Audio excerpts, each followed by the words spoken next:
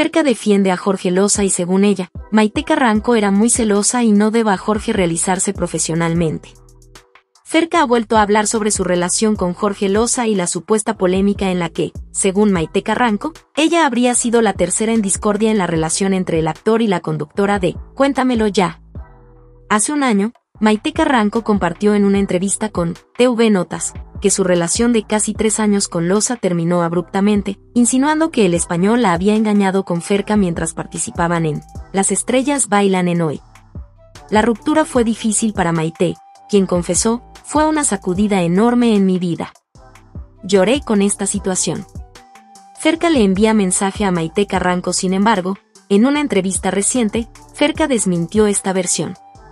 Me hubiese encantado decirle, a Maite, no sabes el gran hombre que tenías al lado. Jamás le puso el cuerno, yo no sé, pero conmigo todo el tiempo respetó a Maite. La actriz aseguró que Jorge es un gran hombre, aunque reconoció que nadie es perfecto. También mencionó que, según ella, Maite era muy celosa. Eso de que Jorge Loza le puso el cuerno con Ferca, no, no. Más bien, hay que asumir que ella también era muy celosa y no lo dejaba realizarse profesionalmente y a la semana que nosotros empezamos con lo del baile, no le gustó y lo cortó el viernes, comentó Ferca. Ferca confiesa cómo fue que comenzó la atracción con Jorge Loza yo no me puedo meter, tuvieron una discusión tremenda y el viernes lo corta y él dijo ay ya porque yo creo venían mal, traían sus problemas, agregó Ferca. Ferca explicó que, cuando comenzaron a trabajar juntos en el programa de baile, ambos empezaron a sentir cierta atracción, pero decidieron no actuar en consecuencia hasta que finalizó el proyecto.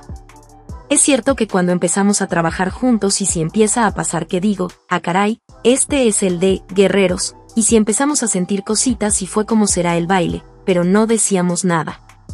Agregó, dijimos, yo quiero llegar a la final, no la caguemos y te aguantas y me aguanto. Esa tensión ayudó mucho con los bailes y termina el proyecto literal y fue de pues ya salgamos y tuvimos nuestras ondillas hasta que nos fuimos a la casa de los famosos.